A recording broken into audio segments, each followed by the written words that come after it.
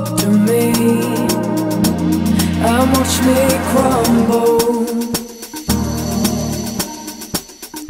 You will see.